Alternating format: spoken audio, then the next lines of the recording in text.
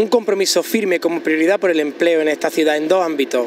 Plan de rehabilitación de vivienda para que eso dé trabajo a la gente que se ha quedado parada. Hay miles de parados que vienen de la construcción y hacer de esta ciudad la ciudad de la ciencia mediante incentivos y bonificaciones para la localización de empresas en una alianza con la universidad. En materia de movilidad vamos a eliminar la LAC y vamos a eliminar los transbordos para, utilizando ese tipo de los, autobuses grandes, incorporarlo y que lleguen de punta a punta eh, la ciudad en un desplazamiento y sin transbordo. En materia de transparencia, mm, publicación, vamos a abrir las puertas y las ventanas de esta ciudad, publicación de forma mm, permanente de presupuestos, de gastos, de contratos con empresas y evidentemente el patrimonio de los concejales. Y en materia de deporte, algo fundamental como es recuperar el patronato de deporte y ponernos a trabajar para que los precios no sean tan difíciles, precios tan caros que ahora mismo están pagando los ciudadanos en las instalaciones públicas.